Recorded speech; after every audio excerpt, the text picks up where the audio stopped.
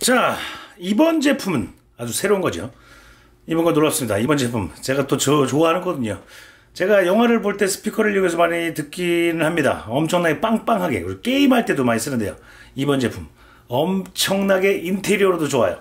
그리고 디자인도 심플합니다. 뭐, 야외에서건, 어, 큰 집이든, 뭐, 가게? 이런 데 놔도 좋을 것 같습니다. 한번 볼까요? Let's go! 짜잔! 바로 이 제품입니다. 자, 제일랩이라는 거고요. 이 제품이 어 볼릿 MP3 플레이어 with USB SD 카드 다 읽혀지는 그런 앰프 같은 거죠. 자, 전원을 한번 눌러봅니다. 전원 잘 들어와요? 깔끔하죠? 자, 여기서 저는 엄청난 큰 놈을 준비했습니다. 다트, 아, 이런 센 놈이에요. 엄청 큽니다. 이 녀석 뒤에는 라인이 이렇게 되어 있어요.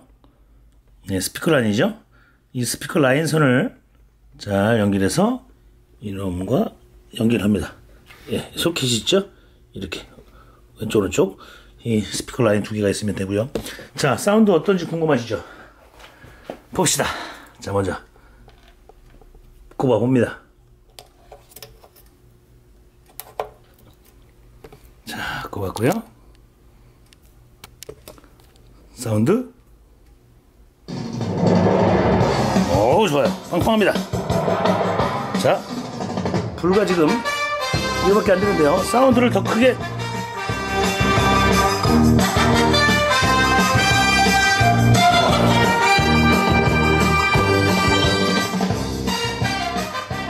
지금 지금 집이 저녁 9시라 크게 할 수가 없어요. 지금 라인을 어, 접사가 지금 잘 안 되나? 네. 여기까지밖에 안 했는데요. 풀로 땡기면 어떻다는 얘기예요. 그냥 이 하나로 빵 빠다는 얘기입니다. 자, 이 녀석, 이 녀석은요 바퀴가 달렸어요. 밀고 다닐 수 있습니다. 엄청나죠? 어때요? 그